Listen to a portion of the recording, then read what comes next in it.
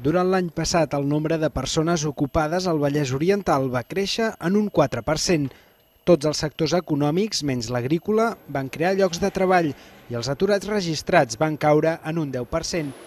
Les dades s'extreuen de l'informe econòmic que cada any elabora la Cambra de Comerç i la Diputació de Barcelona i confirma les millors dades des de l'esclat de la crisi.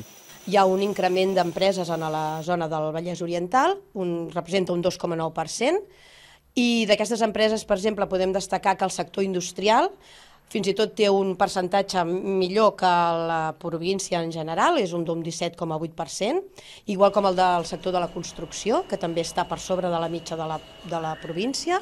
L'informe també mostra un creixement de gairebé el 3% en la creació de noves empreses, la indústria continua sent el motor econòmic de la comarca i des dels sindicats això s'ha d'aprofitar. Ens demostra el que nosaltres fa molt temps que diem, que la comarca és una comarca atractiva econòmicament i que es pot convertir en un pol de desenvolupament econòmic. Ja ho és, ho havia estat i ho pot tornar a ser, no? i que es pot convertir en un pol de desenvolupament econòmic per tant, en una comarca que creï llocs de treball. Som una comarca que té sectors econòmics que són tractors, que vol dir que poden crear riquesa i que poden apropar d'altres empreses. Seguim sent una comarca industrial, molt industrialitzada, estem per sobre de la mitjana de la, de la província.